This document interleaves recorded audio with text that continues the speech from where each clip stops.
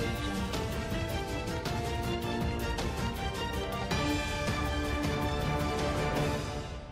यमुनानगर ज़िले में उनहत्तर प्रतिशत मतदान हुआ। मतदान लगभग शांति पूर्वक ही रहा। कुछ खामियाँ पाई, लेकिन उसे तुरंत ही दूर कर दिया गया। अगर बात की जाए तो जगाधरी में तिहत्तर प्रतिशत मतदान हुआ। वहीं यमुनानगर के विधानसभा में बासठ पॉइंट चालीस प्रतिशत मतदान हुआ और रादौर में अड़सठ प्वाइंट बीस प्रतिशत हुआ। सडोरा में सबसे अधिक चौहत्तर प्रतिशत मतदान हुआ। जिला निर्वाचन अधिकारी मुकुल कुमार ने कहा की सभी मतदाताओं को जागरूक करने के लिए प्रशासन की तरफ़ ऐसी अलग अलग हर संभव प्रयास किए गए। इसमें स्पीकर एडवर्टाइजमेंट भी चलाई गई।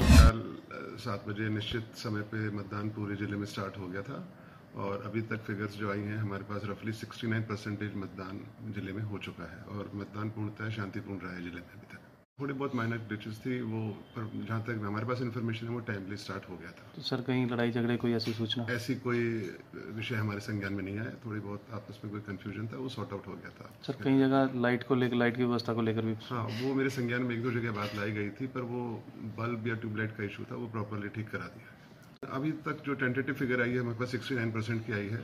तो अभी छः बजने ही वाले हैं। उसके बाद हर एक पोलिंग स्टेशन पे जो भी व्यक्ति कतार में होगा, उनको स्लिप दी जाएगी। और उसके बाद वो फिगर भी मैं आपको 15-20 मिनट में शेयर कर लूँगा वो फाइनल फिगर एक बार हम वर्कआउट कर लेते हैं जब पोलिंग पार्टीज़ आ जाएँगी, जो हमारे प्रिजाइडिंग ऑफिसर डायरी से जो फिगर्स आएँगी।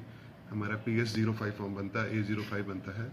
उसके बाद फाइनल फिगर आने के बाद ही मैं उससे बता पाऊँगा। पर हमारी तरफ़ से पूरा प्रयास किया गया था, चाहे वो स्वीप एक्टिविटीज़ या अन्य कोई।